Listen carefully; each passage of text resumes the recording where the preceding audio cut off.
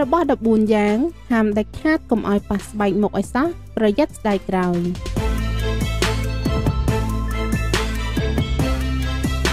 ជាការពិតណាស់នាពេលបច្ចុប្បន្នដោយសារបច្ចេកវិទ្យាមានការរីកចម្រើនខ្លាំងអ្វីៗក៏បានបង្ហាញជាច្រើននៅលើបណ្ដាញអ៊ីនធឺណិតដែលក្នុងនោះក៏ពោពេញដោយវិធីថែសម្រស់ជាច្រើនថ្មីថ្មីប្លែកៗប៉ុន្តែវិធីទាំងនោះមិនមែនសុទ្ធតែត្រឹមត្រូវ និងគួរធ្វើតាមនោះទេ ប្រសិនបើអ្នកស្រឡាញ់ស្បែកមុខរបស់លោកអ្នកនោះដូច្នេះថ្ងៃនេះនាងខ្ញុំសូមលើកយកនៅរបស់ចំនួន14យ៉ាង ដែលអ្នកគួរជៀសវាងជាដាច់ខាត ពិសេសស្រីស្រីតែម្ដងមិនត្រូវឲ្យប៉ះជាមួយនឹងស្បែកមុខរបស់អ្នកនោះឡើយ1លេលីបខ្លួន ក្នុងករណីអស់លេលីបមុខសូមកុំប្រើប្រាស់លេលីបខ្លួនជាបណ្ដោះអាសន្នវាអាចធ្វើឲ្យស្ទះរនរោមកើតមុនឬរោល2 ស្ករស្ករចាត់ទុកជាវត្ថុរឹងបើអ្នកយកមកដុសនៅលើមុខនឹងបណ្ដាលឲ្យដាច់រលាត់ស្បែកមើលមិនឃើញរបួសតូចតូចបណ្ដាលឲ្យស្បែកស្ដើងក្រហមរលាកនិងបង្កជាបញ្ហាផ្សេងផ្សេង3ទឹកក្តៅគេហាមមិនឲ្យកក់សក់នឹងទឹកក្តៅទេដូចគ្នាជាមួយនឹងស្បែកមុខដែរការប្រើទឹកក្តៅធ្វើឲ្យមុខស្ងួតឬរលាកមុខ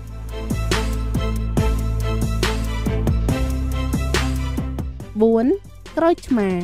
ក្រូចឆ្មាពិតជាសម្បូរទៅដោយវីតាមីន C ល្អចំពោះស្បែកមែនប៉ុន្តែការប្រើប្រាស់ផ្ទាល់ពីផ្លែក្រូចដោយគ្មានការចម្រាញ់បណ្ដាលឲ្យស្បែករបស់អ្នកប្រតិកម្មទៅនឹងអាស៊ីតក្រូចឆ្មានោះដូចជារមាស់រោលរលាកជាដើម5ថ្នាំដុសធ្មេញ ការប្រើប្រាស់ថ្នាំដុសធ្មេញនៅលើមុខបណ្ដាលឲ្យរលាកនិងឆ្លងមេរោគដោយសារតែគ្រឿងផ្សំខ្លាំងៗនៅក្នុងថ្នាំដុសធ្មេញខ្លះស្បែកមិនអាចទប់ទល់រួចទេ6 baking soda វាធ្វើឲ្យកម្រិត pH នៅក្នុងស្បែកប្រែប្រួល បង្កបាក់តេរី និងមេរោគឆ្លង បណ្ដាលឲ្យកើតមុនធំធំ7 កាវអ្នកប្រកាសជាដឹងអំពីការប្រើប្រាស់កាវមកបកមុនក្បាលខ្មៅនៅលើច្រមុះពីបុគ្គលល្បីៗមួយចំនួនហើយជាតិស្អិតដែលមាននៅក្នុងកាវធ្វើឲ្យរញើសកកស្ទះពិបាកនឹងលាងសម្អាត យើងសង្កេតឃើញថាបន្ទាប់ពីបកមុនរួចមុននឹងឡើងមកវិញលឿនជាងធម្មតា8សាប៊ូដុំ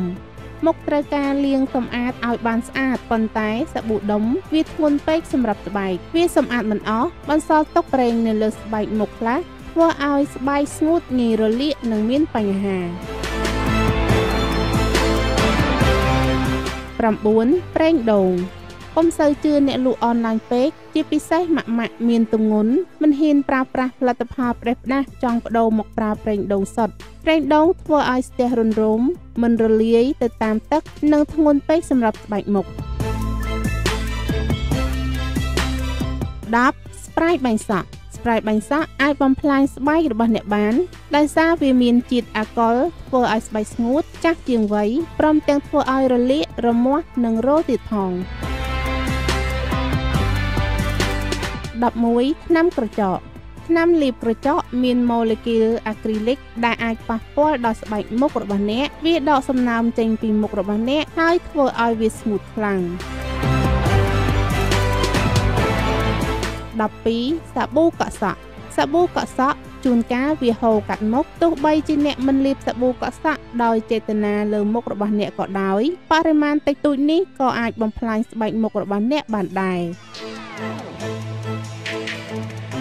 13ក្រមួនបករោមស្បែកមុខមានសភាពទន់រលោងជាង បើធៀបនឹងស្បែកខ្លួនដូច្នេះវាអាចនាំឲ្យរលាកគល់រោមងាយប្រតិកម្មនឹងកម្ដៅថ្ងៃកន្ទួល និងក្នុងករណីខ្លះបង្កស្នាមផងដែរ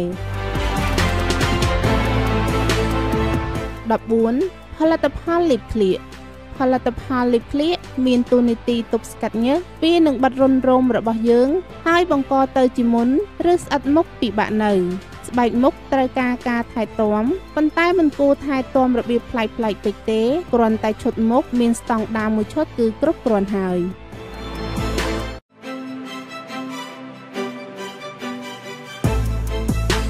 ជួនជាពិសេសចំពោះបងប្អូនស្ត្រី និងសុភាពនារីទាំងឡាយនិងខ្សែចែករំលែកគ្នាដឹងផងដែរពាក់ព័ន្ធទៅនឹង3រូបមន្តដែលជួយធ្វើឲ្យផ្ទៃមុខរបស់យើងសរលុងស្អាត។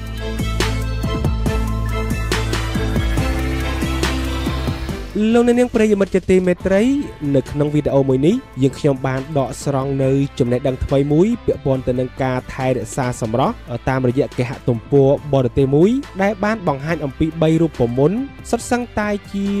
រូបមន្តបែបធម្មជាតិទាំងអស់ដែលអាចជួយរក្សាផ្ទៃមុខរបស់យើង ជាពិសេសគឺផ្ទៃមុខរបស់សុភាពនារីតែម្ដងឲ្យសរលុងស្អាតឥឡូវនេះចង់ដឹងថាតើ3រូបមន្តពិសេសនោះគឺមានអ្វីខ្លះដូច្នេះសូមនាំអារម្មណ៍ប្រិយមិត្តលោកអ្នកនាងទៅតាមដានលំអិតជាមួយនឹងយើងខ្ញុំដូចតទៅ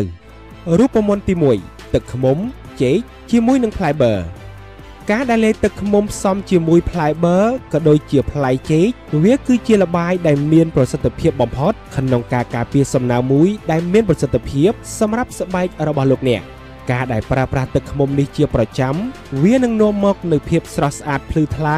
និងភាពតឹងណែននៃស្បែករបស់យើងផងដែរ ចំពោះរបៀបធ្វើលោកអ្នកត្រូវរៀបចំគ្រឿងផ្សំដូចជាផ្លែបឺមួយចំហិងផ្លែចេកចំនួន1ផ្លែនិងទឹកឃ្មុំសុទ្ធចំនួន1ស្លាបព្រាលោកអ្នកគ្រាន់តែលាយបញ្ចូលគ្នានៅគ្រឿងផ្សំទាំង3មុខចូលគ្នាឲ្យទៅជាល្បាយស្មើសាច់បន្ទាប់មកយកវាមកលាបនៅលើផ្ទៃមុខទុករយៈពេល10ទៅ15នាទីរួចលាងសម្អាតចេញដោយទឹកស្អាត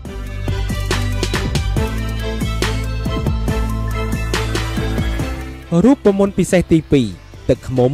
លាយជាមួយនឹងតែបៃតងចាប់តាំងពីសម័យបុរាណកាលមក តែបៃតងត្រូវបានគេប្រើជាគ្រឿងផ្សំសំខាន់ណាស់សម្រាប់សុខភាពនិងសម្រស់របស់មនុស្សយើង ជាពិសេសតែបៃតង វាមានសារធាតុជួយប្រឆាំងជាមួយនឹងអុកស៊ីតកម្មការប្រឆាំងនឹងការរលាកការព្យាបាលមុន និងចំណុចខ្មៅនៅលើស្បែកមុខបានយ៉ាងមានប្រសិទ្ធភាពផងដែរចំពោះគ្រឿងផ្សំនិងវិធីធ្វើ លោកអ្នកត្រូវយកម្សៅតែបៃតងចំនួន1ស្លាបព្រាកាហ្វេទឹកឃ្មុំចំនួន1ស្លាបព្រាកាហ្វេ និងទឹកក្រូចឆ្មាចំនួន2ឬ3ដំណក់លោកអ្នកត្រូវលាងសម្អាតមុខរបស់អ្នកជាមួយនឹងទឹកក្តៅអ៊ុនៗដើម្បីបើករន្ធញើសលាបល្បាយដែលបានលាយបញ្ចូលគ្នានៅលើស្បែកមុខរបស់អ្នកហើយទុករយៈពេល20នាទីបន្ទាប់មកលោកអ្នកលាងសម្អាតមុខចេញដោយទឹកស្អាតស្បែករបស់លោកអ្នកនឹងភ្លឺថ្លាជាងមុនបន្ទាប់ពីប្រើលើកដំបូង លោកអ្នកអនុវត្តបែបនេះពីរដងក្នុងមួយសប្តាហ៍វានឹងជួយប្រឆាំងភាពចាស់នៃស្បែកមុខការកើតមុនក៏ដូចជាលុបបំបាត់ដោយស្នាមជាំខ្មៅនៅលើផ្ទៃមុខរបស់អ្នកបានផងដែរ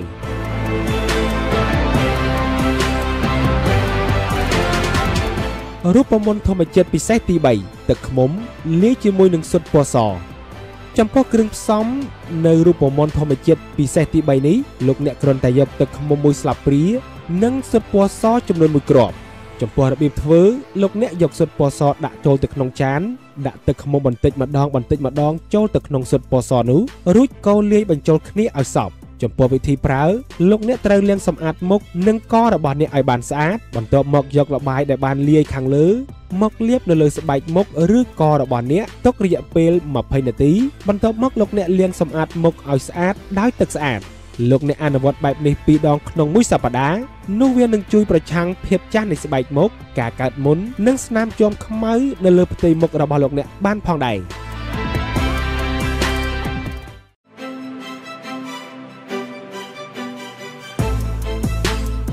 វិធីងាយៗចំនួន3យ៉ាង អាចជួយកម្ចាត់មុនក្បាលខ្មៅបានយ៉ាងឆាប់បំផុត។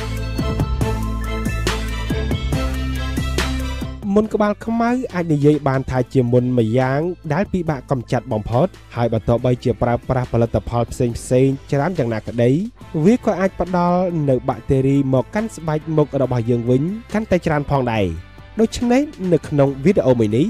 យើងសូមពំនាំនៅវិធីងាយងាយចំនួន4យ៉ាង គឺអាចកម្ចាត់មុនក្បាលខ្មៅបានយ៉ាងរហ័សនិងមានប្រសិទ្ធភាពបំផុត។ ឥឡូវនេះចង់ដឹងថាតើវិធីសាស្ត្រឬក៏ក្បួនងាយងាយទាំង3យ៉ាងនោះគឺជាវិធីបែបណាដូច្នេះសូមនាំអារម្មណ៍ប្រិយមិត្តលោកអ្នកនាងទៅតាមដានលំអិតជាមួយនឹងយើងខ្ញុំដូចតទៅ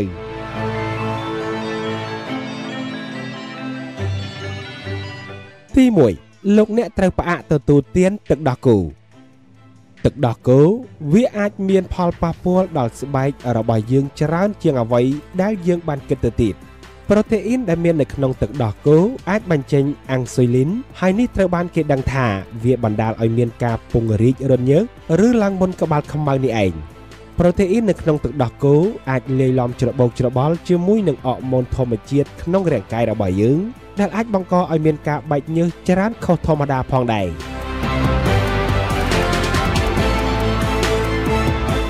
ទី2បង្កើនការញ៉ាំគ្រាប់អាល់ម៉ុន គ្រាប់អាល់ម៉ុនមានវីតាមីន E ច្រើនបំផុតដែលអាចទប់ស្កាត់សារធាតុគ្រោះថ្នាក់ពីធម្មជាតិនិងមិនឲ្យប៉ះពាល់ដល់ស្បែករបស់យើងដោយជាការបំពុលដោយពពួកបាក់តេរីជាដើម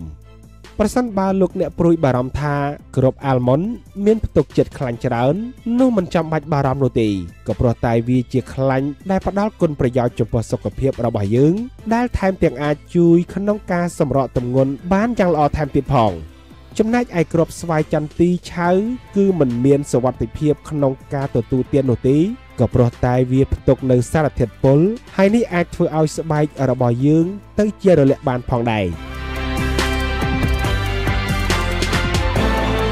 ទី3គួរញ៉ាំអាហារបន្ថែមដែលមានអាស៊ីតខ្លាញ់អូមេហ្គា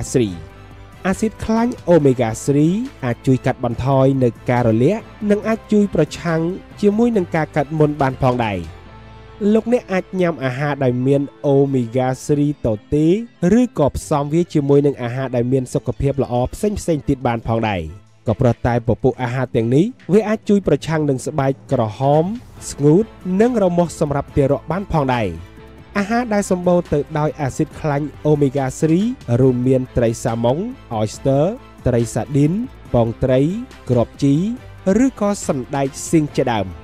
ចែករំលែកវីដេអូមួយនេះឲ្យបានច្រើនដើម្បីឲ្យវីដេអូមួយនេះទៅដល់មនុស្សផ្សេងផ្សេងទៀតដែលកំពុងជួបប្រទះបញ្ហាមុនក្បាលខ្មៅ